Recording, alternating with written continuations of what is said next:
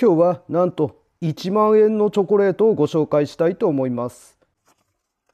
なんやそれってね1万円のチョコレートって。ここに1万円札を仕込みます。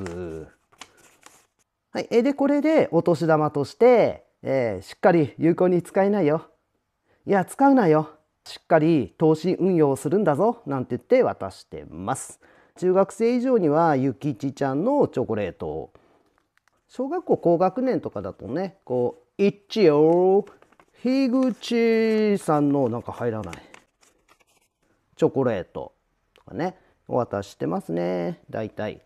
普通にさ俺これ自分で食べたいんだよね。それが一番のね、えー、お年玉を渡すハードルだったりします。ということで本年もよろしくお願いいたします。バニャニャンだ。